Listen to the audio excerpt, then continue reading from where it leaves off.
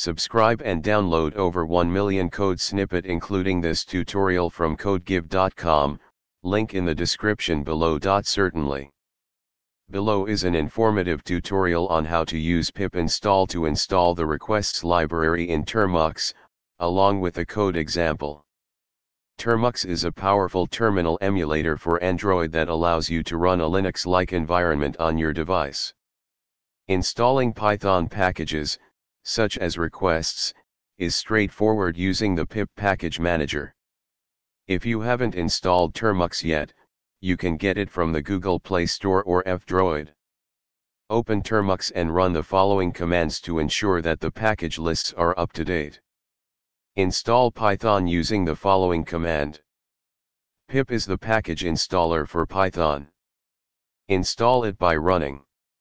Now, you can install the requests library using pip. You can verify the installation by checking the installed packages. You should see requests listed among the installed packages. Now that you have requests installed, you can use it in your Python scripts. Create a new file, for example, example.py, and add the following code. Save the file and run it using the following command. This script makes a simple GET request to a JSON placeholder API endpoint and prints the title and body of a post.